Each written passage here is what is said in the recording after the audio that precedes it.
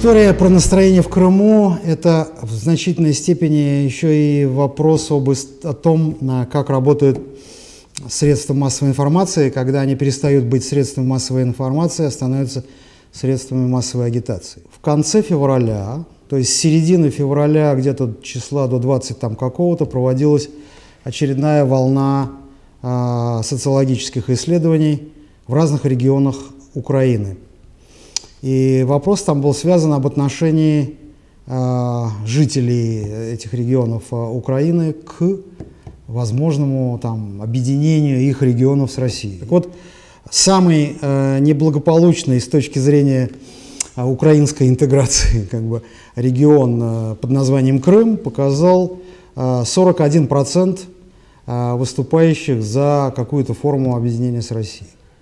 Это очень высокий процент. И он, конечно, связан э, там и с историей, и с тем, как Крым э, попал в Украину. Но все это было э, в феврале. Все это было до того, как были приняты здесь в России соответствующие решения.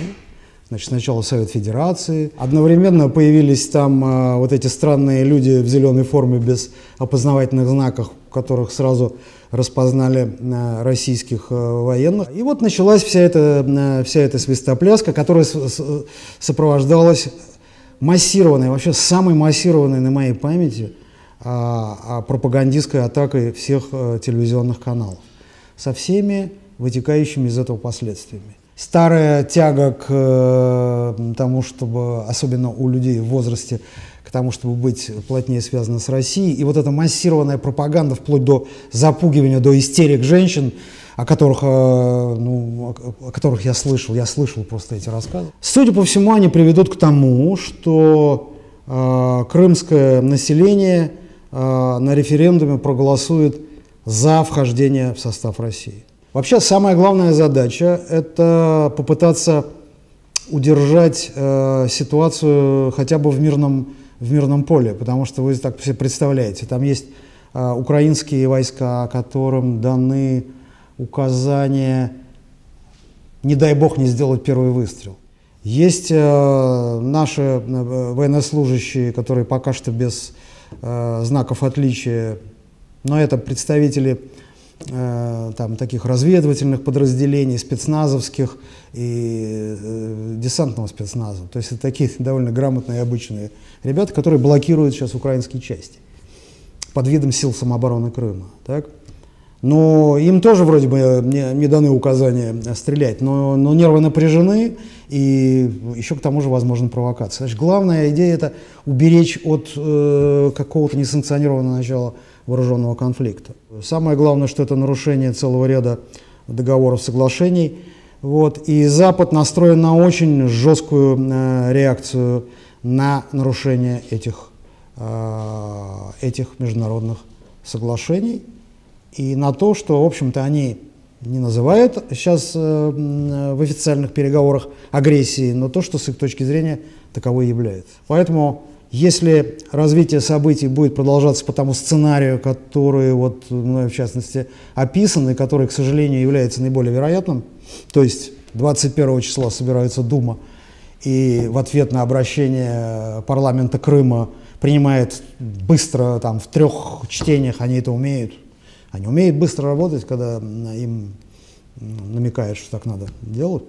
Вот, они примут э, решение об облегченном вхождении субъектов, э, новых субъектов Федерации.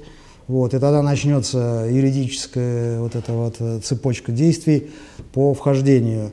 И это будет сигналом для объявления санкций. Санкции будут очень жесткими. Они в первую очередь будут касаться э, визовых и всяких банковских санкций в отношении тех, кто причастен к принятию этого решения. Сам Крым – это тяжелая э, история, потому что туда надо, туда надо много вкладывать.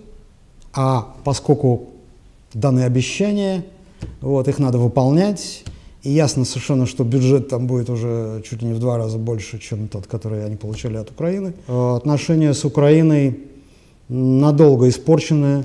Э, это при том, что связи наши, конечно, исторические, очень активные, человеческие, масса людей имеют родственников, ездят друг к другу, ездят на работу, и миллион тут всего. Я не сомневаюсь, что на первых порах и население России поддержит э, эту акцию, потому что пропагандистская накачка в нашей стране, она всегда очень сильно влияет на изменение настроения. И поэтому я вот жду э, опросов общественного мнения, я подозреваю, что здесь поддержка объединение с братским народом Крыма, она тоже, тоже на, на первых порах вызовет э, только одобрение. Зачем? Э, вопрос такой, что дело в том, что никто э, из э, руководителей, он же не сказал зачем. Мы что, слышали выступление э, президента Путина, или мы слышали выступление премьера Медведева, или министра обороны Шойгу, которые нам бы сказали, а зачем это, это все? Приходится гадать, сопоставлять и опираться на свой опыт и на аналитические способности, если таковые есть. Я уверен, что во главе угла э, стоит проблема а, одновременно явного, так сказать, э, дрейфа, поддержанная большинством, то есть вне всякого э, сомнения большинством украинского населения, дрейфа в сторону Европы, который предполагает, правда, где-то там, там в отдаленной пока что перспективе, наверное, и вхождение в э, структуры э, Европы. Ну, две основные структуры есть. Одна из них это военно-политическая структура под названием НАТО, а другая структура называется Евросоюз. Путь невероятно долгий, потому что условия вхождения в такие организации очень жесткие. Страна должна к этому подготовиться. Но вектор как-то вот он так понятен.